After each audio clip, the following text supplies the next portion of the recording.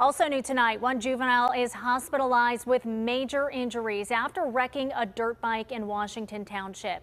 It happened Friday night just before 7 on State Route 956. Police say the juvenile lost control after hitting a deer that was standing in the road. The driver was thrown from the bike and was not wearing a helmet properly.